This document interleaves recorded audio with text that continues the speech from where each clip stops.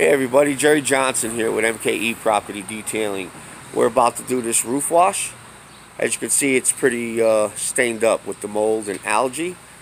Uh, we're going to actually apply our solution at low pressure and then uh, watch it disappear.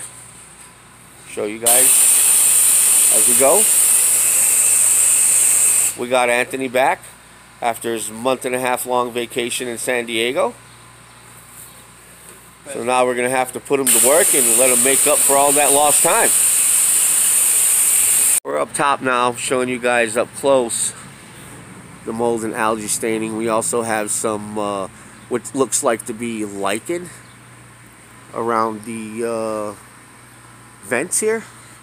You know, now with the lichen, what we do is we're going to go ahead and coat it up real nice and make it turn uh, popcorn white uh, which means it's dead. But we're not going to apply any high pressure to the roof to get it off, uh, as to the recommendations of the uh, Asphalt Asphalt Roofing Manufacturers Association, ARMA.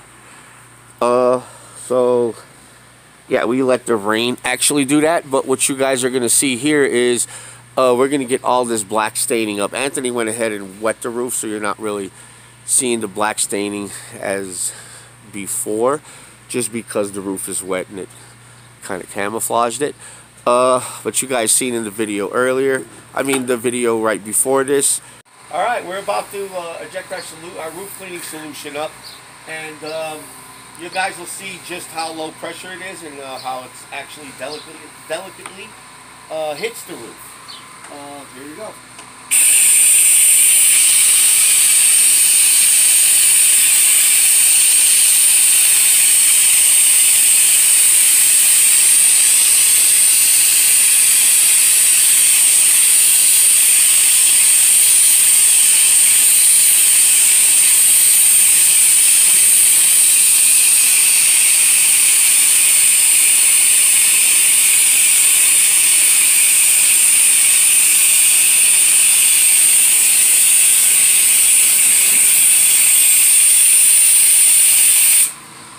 Guys can see, we never have to put any type of ladders onto your uh, building, um, onto your gutters, onto the siding, the roof. We actually able to shoot it from the ground are using A-frame ladder. Um, so that's the way, you know, it's a little more safety involved. Uh, and plus there's no damage to your, uh, no possibility for damage to your uh, gutter system or roof or uh, siding.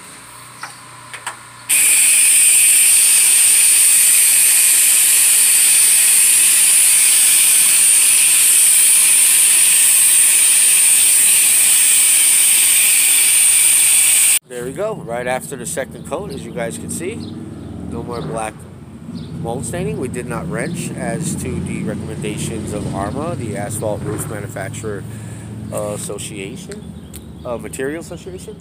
Uh, but, as you guys can see, the uh, lichen that I was telling you guys about that's uh, underneath the vent here, as you guys can see, it turned bright white.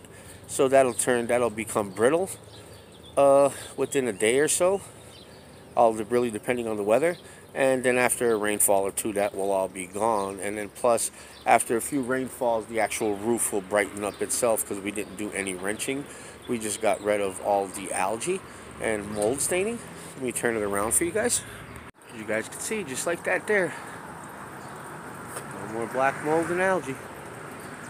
If you need a roof wash, give us a call at 414-399-1595 or visit www.mkeclean.com.